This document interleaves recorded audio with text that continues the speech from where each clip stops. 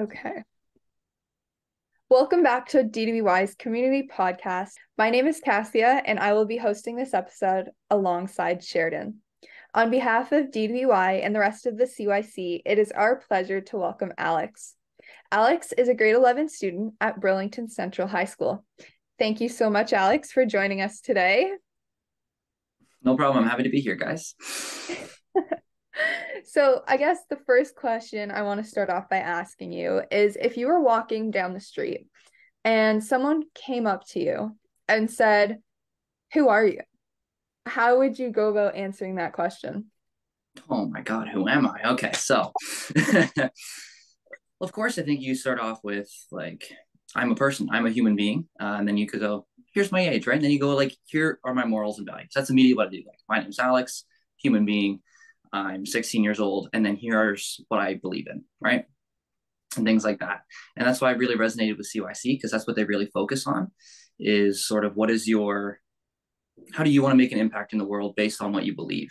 So that's what I really loved. And that's, that's how I'd answer that, right? Is just, who are you? Well, here's who I am. Here's what I believe in. It's funny because a lot of people, when we ask that question, and it's something that we sort of work through in CYC about how you should actually answer that question.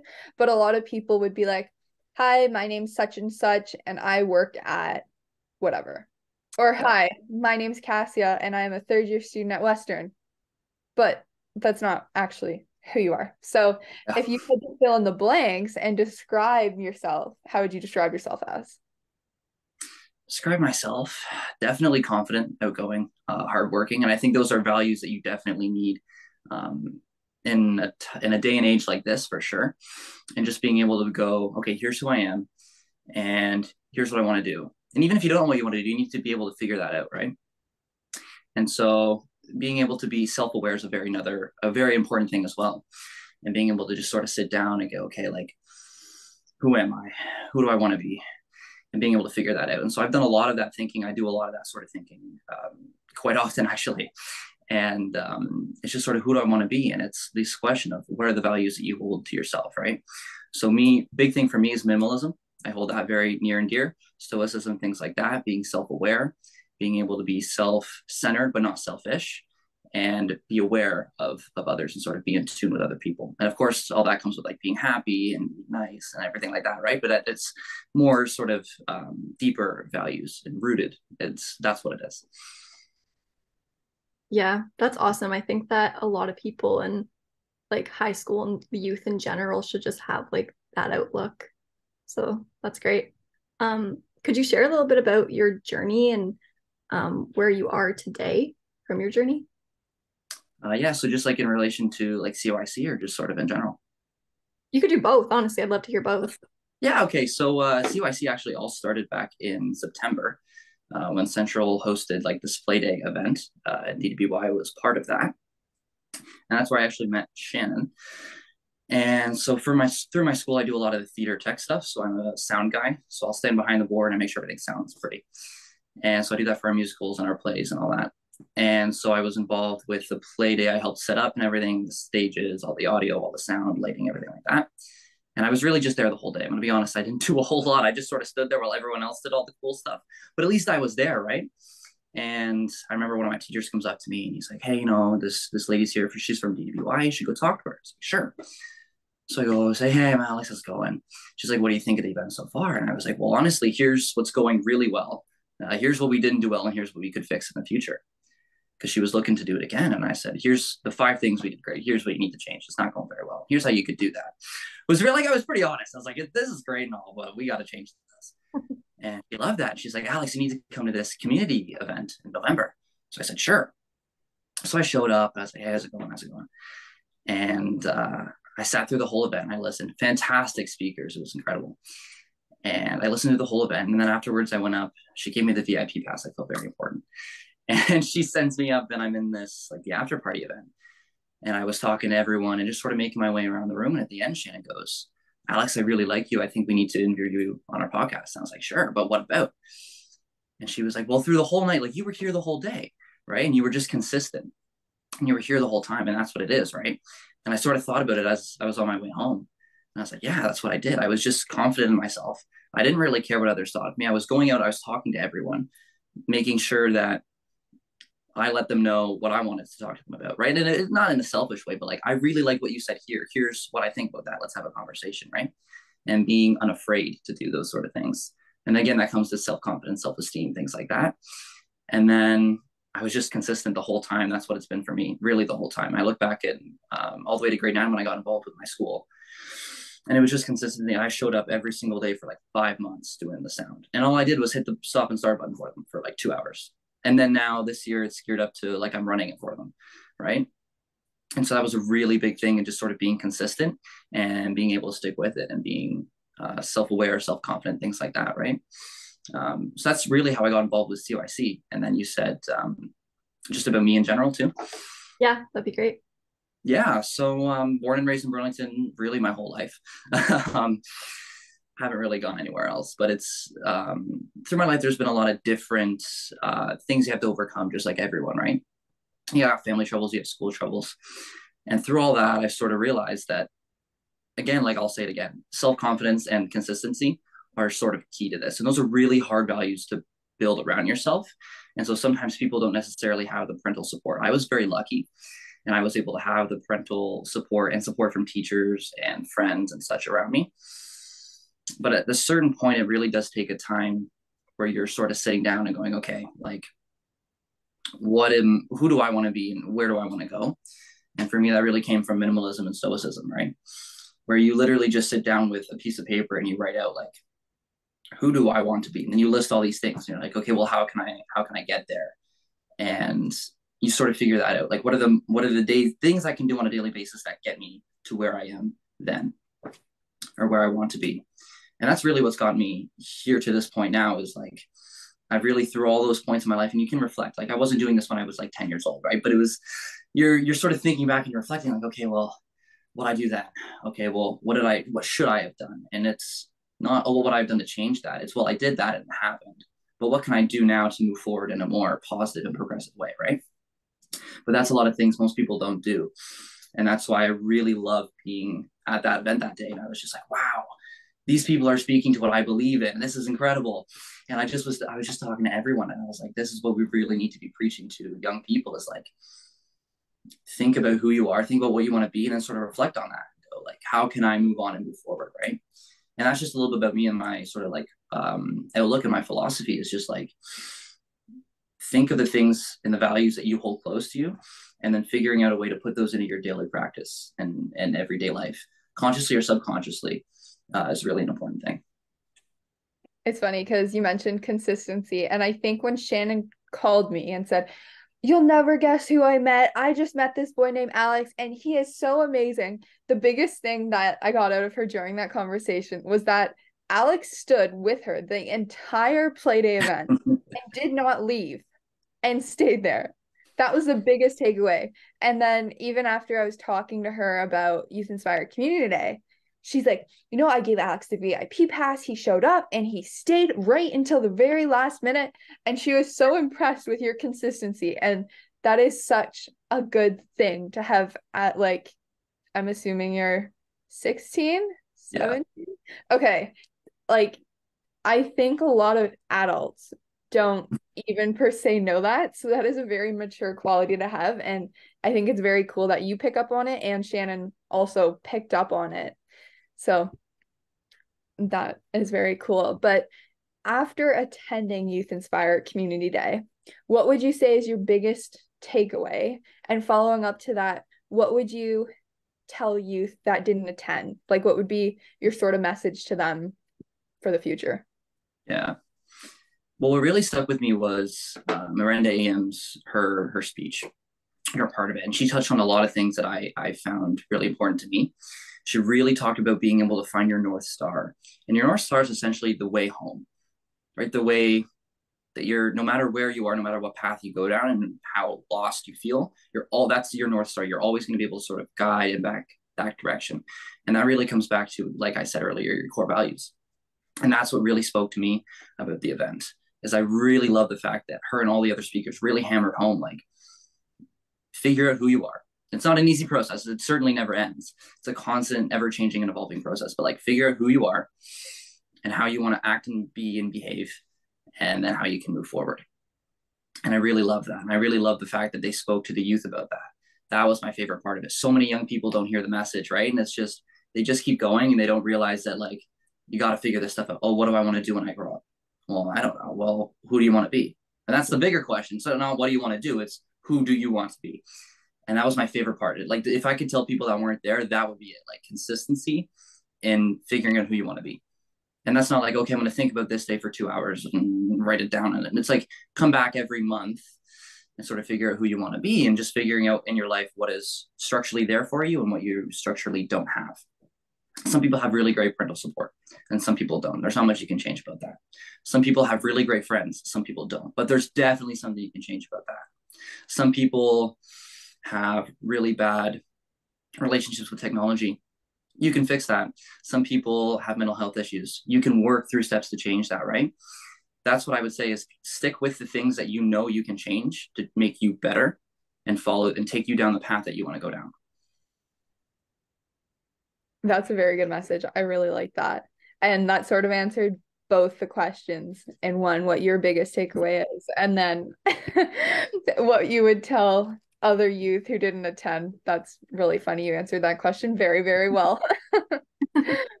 um, you did also kind of say this, but is there anything you wish you would have told yourself that you've now learned that you would like to share? Definitely. Like if I could go back just three or four years and just tell myself one thing, it'd probably be to just don't give up, don't quit. I look back and I've definitely quit on a few things I should not have quit on and just kept going.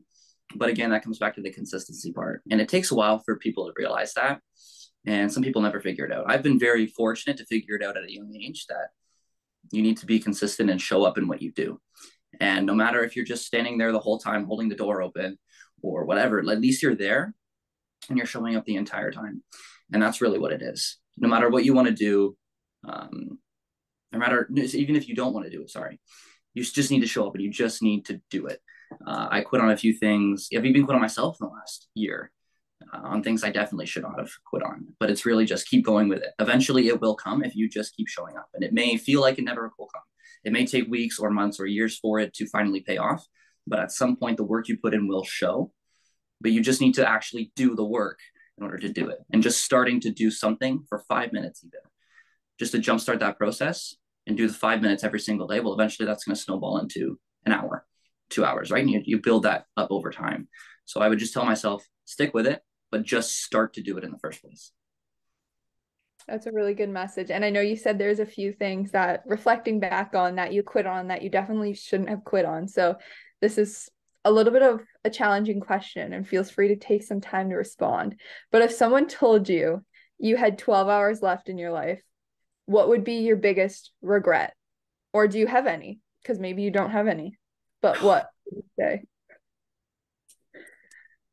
Man, that is tough. the only reason I asked that question is because I was asked it in an interview, given 30 yeah. to think of an answer, and had two minutes to answer. Oh. ever since that, it's just stuck with me because it's such an interesting question and everyone has such different responses yeah. to it that it's one of my favorite questions now. I feel like a lot of people will gravitate towards like the little things, be like, oh, I should have done this, I should have done that. But I feel like that's sort of trivial. Um, wow. Jeez. Think if you want, I can share how I answered the question. And to me, my whole philosophy in life and what I live by is that everything happens for a reason. And everything that has happened to me has taught me something, whether that's good or bad. I've learned from it.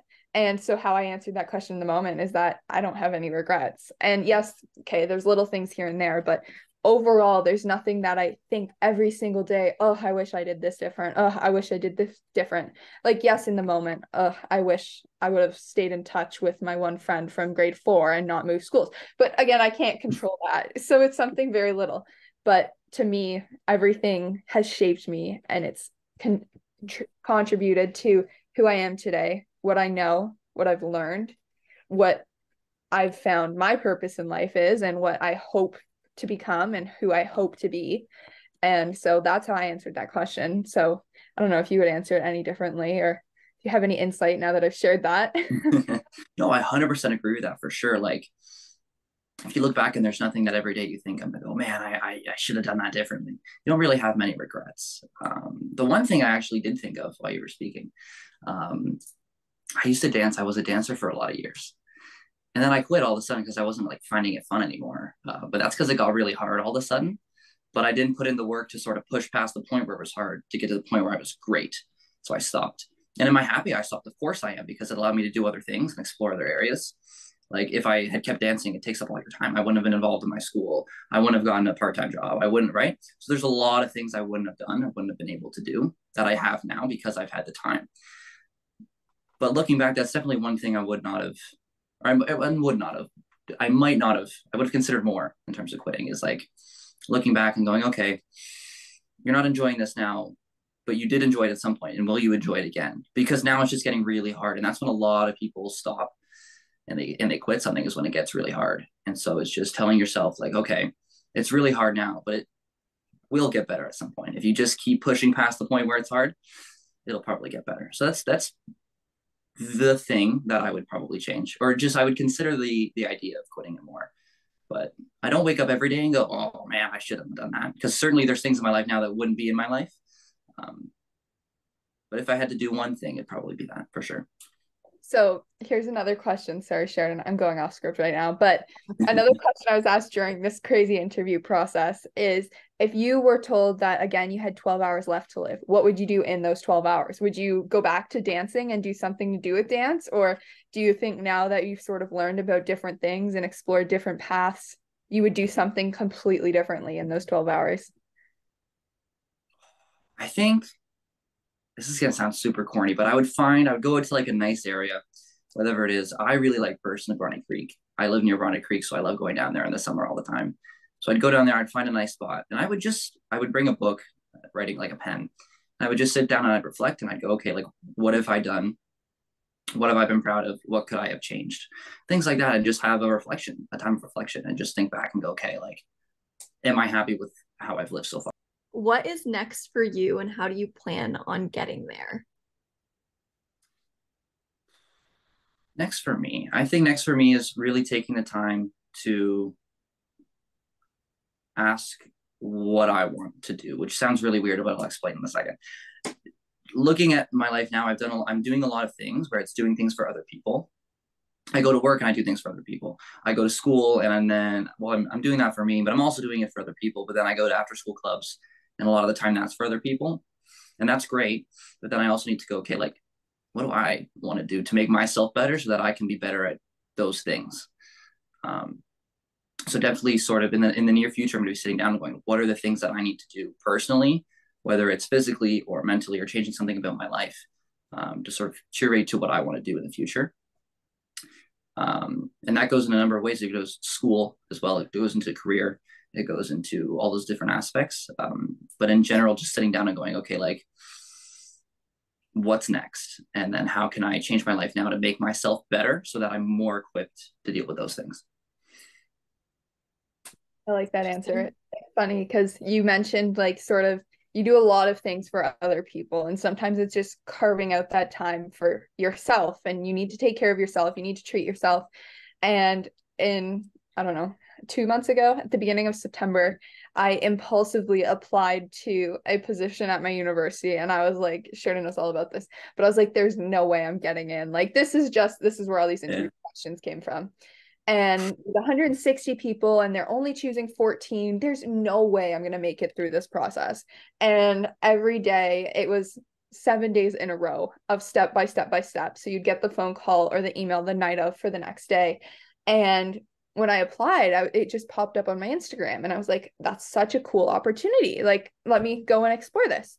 Never, never, never thinking it would go anywhere. And I've been volunteering with Dare to Be Youth a lot. And I guess I didn't really take into time to think about the consideration of what would happen if I actually made it. Because if you make it past this week of almost death because it's you're starting school and now you're worrying about all these different things and physical and answering questions and you're getting drilled but after that there's three weeks of 5 to 10 from monday to friday and 9 a.m. to almost 7 p.m. on Saturdays, and then 9 a.m. to 10 p.m. on Sundays, where you have to go through this course to learn to get certified. And it's like a Red Cross course, it's an EMR course, but I never really considered what happens if you actually get there because I was just almost in denial, like, oh, there's no way. And every stage, people would like dwindle, and you'd see like people that you had met not be there anymore. And all of a sudden, I got the phone call, and I was like, what? Like, and I, I don't know if I was more in shock or more like somewhat happy that I got this position, but during those, it might even have been four weeks to be honest, I don't remember, but I had to take time off from everything. And which is something I'd never really done before. So it was sort of navigating the whole process of okay, everyone at the CYC now can't be dependent on you because you're no longer there. So it was not only communicating that I'm no longer there, but it was also what happens when I'm not there. Yeah. And I've always been a big volunteer and I love volunteering, but it took me that to learn that what happens when you don't like when you take some time for yourself and don't do stuff for other people. So that's very interesting that you've learned that at what four years before I did but yeah, that's something that is very important. So I don't know, Sharon, if you have anything else to add or. Um, so I guess you mentioned and you sort of alluded to how you have decided that Alex, you want to join the CYC and continue with us on that journey. But what exactly are you hoping to achieve, or what do you wish to see throughout this journey of joining? I definitely do want to be able to make a positive impact on those around me and just being able to spread the message that I've shared with you here today. And just sort of un- helping other people my age understand, like, you know, you have time to figure it out. A lot of people think, a lot of people think you got to figure it out right away. And it's like, no, you don't. You have time to figure it out. You have time to sort of think of who you are and who you want to be and go through that process. But I really just want to help others. That's really my big thing, right? Like, I'm, oh, sorry, my dog's going nuts. just, just wait a second. I think someone's home. We'll just wait a second. I'm sorry. Um, yes, positive change, positive impact. Um, I definitely do want to make a positive impact on those around me. A lot of people that are my age and sort of within a few years um, don't know, don't have an, an idea of the path they want to go down or what they want to do or the person they want to be, things like that. And I think I certainly don't have that figured out either whatsoever. Like I say that and I'm like, I still don't know. I'm still figuring it out. But if I can help other people figure it out, that'd be great right? And just being able to help other people is something I really love to do. Seeing others grow and change and learn is really what I love. That's a, that's a great way to answer that question. Awesome. Um, well, that concludes this episode of DTBY's Community Podcast. On behalf of the rest of the CYC and DTBY, we would like to thank you for supporting youth and creating an impact in your community. It takes a village to support and empower the leaders of tomorrow, and we can't make an impact alone. So we really appreciate everyone in the community who steps up to support us. So thank you, Alex, for coming on. We appreciate it. No problem. Thank you guys for having me. I love this. This is a fantastic opportunity. thank you.